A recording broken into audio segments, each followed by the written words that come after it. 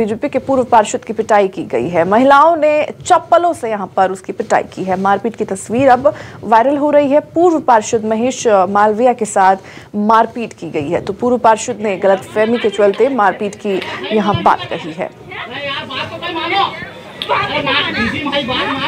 तो ये जानकारी सामने आ रही है। बडवानी से ये तस्वीर आपको दिखा रहे हैं।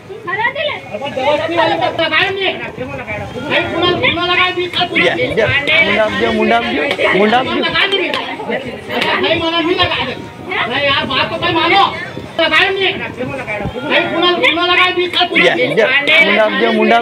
मुंडा मुंडा